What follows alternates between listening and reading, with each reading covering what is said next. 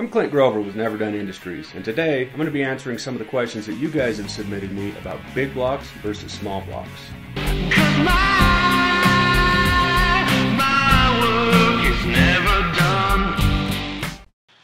What do big block and small block mean? Well, the terms big block and small blocks refer to the physical size of the engine block. Big blocks are bigger, small blocks are smaller. Typically, your small blocks are found in your consumer vehicles, whereas your big blocks are found in trucks and performance vehicles requiring more torque and horsepower. How can I tell if it's a big block or a small block? The big blocks are physically larger in every dimension than the small blocks. If it looks like it was shoehorned in there, it's probably a big block. If there's still a little bit of space around the engine, probably a small block. Here's a picture of a small block. Here's a picture of a big block. Notice how much wider the valve covers are on the big block? What's better, big block or small block? Well, that depends on what you're going to be using the engine for. Big blocks are capable of more power due to their larger displacement, but small blocks are lighter weight, typically less expensive to build. Now, either one can get you a shitload of horsepower.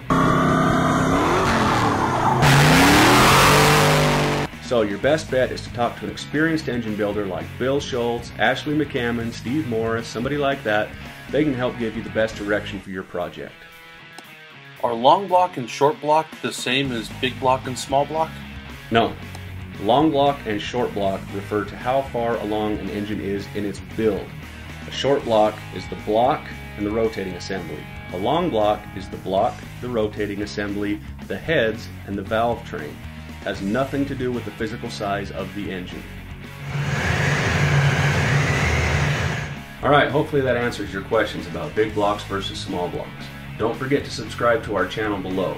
And if you've got any questions you want me to answer, hit me up at professor at neverdoneusa.com. Thank you for watching.